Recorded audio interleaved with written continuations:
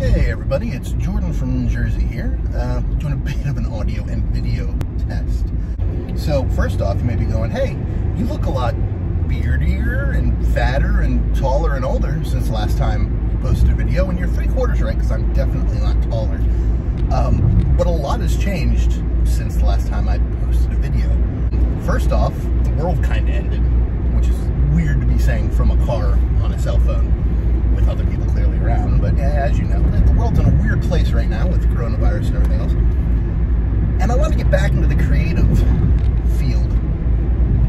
My, my life has changed a lot uh, since last, last time you saw me, if you've ever seen me before. And, and if you have, if you're somehow still subscribed to this channel, well, welcome back.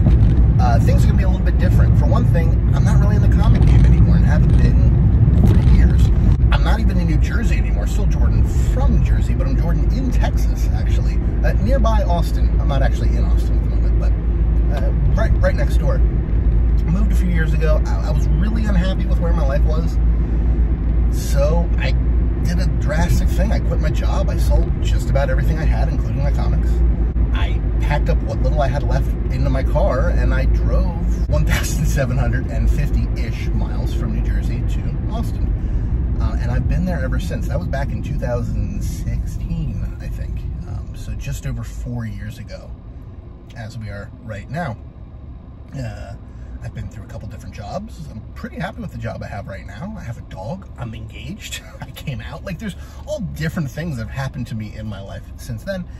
And I haven't really filled in the gaps since I stopped making YouTube videos and, and podcasting with anything.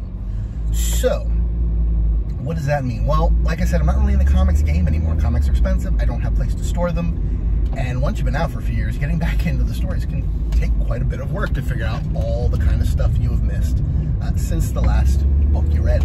So not comics, but one thing I have watched hundreds and hundreds and hundreds of hours of um, since my last video was ASMR videos. I really like ASMR. Not all of them, but quite a few of them. And I kind of want to try my hand, or my voice more accurately, at ASMR. Not really the role play type ones, but just the talking and tapping and that kind of stuff. And I kind of really want to get back into Lego. Now, I had already gotten out of Lego by the time I was doing YouTube videos, but as many people do, I've gotten back into them in the last few years. And I'd like to kind of build Lego ASMR. Maybe real sets, maybe do a little bit of a review, or maybe just grab from my ever-growing Lego collection and just build something and talk and be calming for people, especially right now.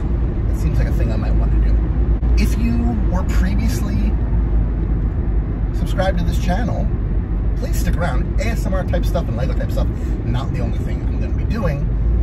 I don't know exactly what I'm going to be doing, but I'd like you to find out with me. I'd like you to give me some pointers, some criticisms, some critiques, uh, some encouragement on the creative side of things, and let's see where this goes.